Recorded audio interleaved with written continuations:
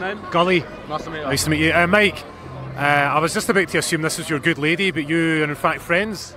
Yeah, friends. Good friends. Friends. Ah, well. friends. Right, okay. Like party as well. That's why we, we get on well. Yeah, it's, it's a good combination. Mike, how do you deal with so much female attention? Does it ever get boring? No. no. To be fair, like I don't know. It's, I, I don't really get as much as you think. Probably. I do get a little bit. I ain't gonna lie, That's a but lie.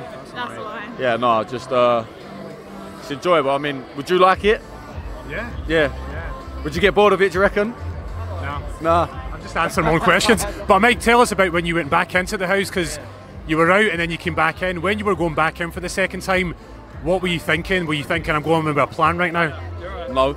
I was in Ibiza, and I had no idea I was going back in. I was just about to go to Ocean Beach, and I got a call, and then it just I was buzzing, and I went out and I got steaming all night, and then I woke up in the morning, jumped straight on a plane with no sleep, went back into the villa, and it was, it was one of the best experiences of my life. It was it was crazy. What was your favourite moment being in the villa?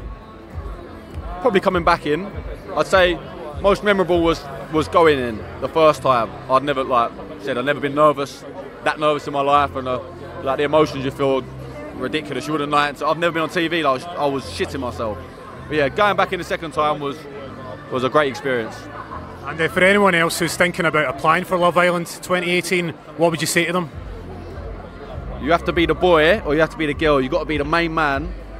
You're supposed to say good luck. You have to be the lion, basically the lion. Yeah, you can't like pussyfoot around. You you got to have a, a lot about you. You go in there. It's not like out on the street. If someone don't like you, you can't just go and slap them. You've got to like got to deal with it. and You've got to try and show what you're about.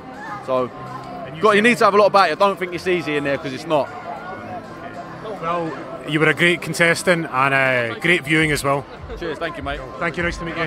Cool, cheers.